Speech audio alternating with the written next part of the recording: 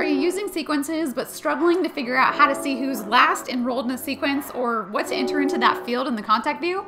In this video, I'm going to show you that trick and a few others. Welcome to HubSpot Hacks, where we help you get more out of HubSpot.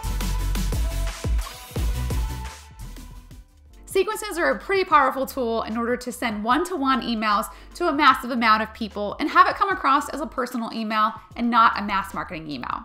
But knowing who's in what sequence can be a little tricky because there is a few workarounds and kind of things to watch out for in HubSpot.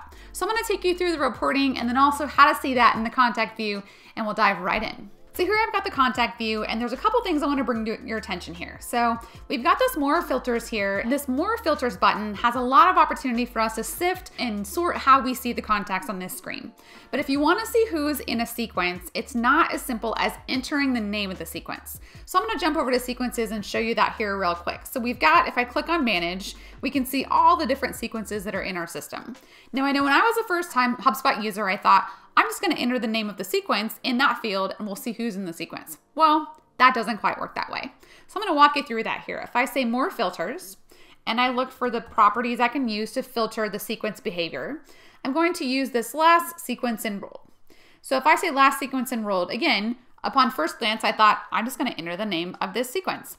Actually, if you click into this sequence, so I'm gonna use this one here as a blueprint service sequence.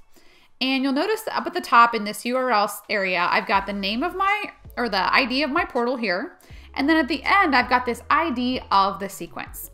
So this sequence ID is actually what you're going to copy and take over here to contacts and you're going to enter it into equal to. So again, you're looking for the sequence ID, not the name of the sequence. And if I click on apply filter, there we go. Now I've got a variety of contacts who were last enrolled in this sequence. Now, if they've been in another sequence since then, they will not show up in this filter. But again, I was looking for anybody who this is the last sequence that they had been through. So in terms of applicability here, a couple of things to keep in mind. Maybe you have a sequence that's called final outreach. Okay, if someone's been through the final outreach sequence and they have completed it and that was the last sequence that they were in, you want to see a list of those contacts. Maybe you need to clean the CRM and get some of them out of there. Maybe they need to be re-enrolled in marketing contacts. That's something you can also do with, with a workflow. We do have a video about workflows versus sequences if you're interested in that. But at first glance, again, this is how you're going to look at those sequences in the contact view. Now I'm gonna jump back to sequences and just um, touch on a few other things that often trip people up in this area. So when I first click into sequences, I'm gonna get to this overview tab and it's going to give me the top enrollments and a little bit of high level reporting. Now let's say that I'm in a position where I'm not actually doing sequences and instead I'm looking at the activity of my team who's doing sequences. If I click into manage, what's gonna happen is I'm going to see all of the sequences that are currently there. But if I'm in the overview screen, I probably won't see anything if nobody has been enrolled by me. So to get rid of that, you can actually just click on the X here and then you can see all of the enrollments across the company. If you want to set your enrollment date by, let's say, 30 days or the last year, you can go ahead and drill down in that way as well. If you wanted to see status from anyone who's enrolled but they haven't started their sequence, if you want to see who's been paused, again, all of that's available here in the sequencing view. And as HubSpot continues to expand, I'm sure there's going to be more opportunities here. We can look actually at specific companies, and then we can also look at reporting on just specific sequences. So that's a little bit of insight into the sequences area. And again, back to the contacts area, if I clear this all, a couple more filters to think about when you're looking at sequencing um, and some behavior here. Whoops, we're gonna go sequence.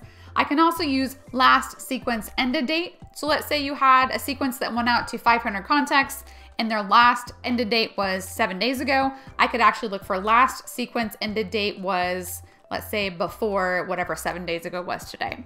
Now, some again, some use of this might be you might want to follow up with those people. You may want to invite them to a webinar. You may want to talk to your marketing team if you don't have a workflow in place for you to actually use that.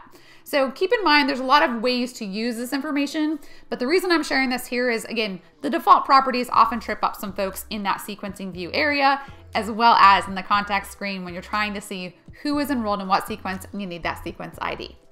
So hopefully that's helpful for you today in yourself and your sales team, as well as if you're marketing helping out the sales with their sequences. For more tips, tricks, and how-tos, hit that subscribe button and we will see you next week.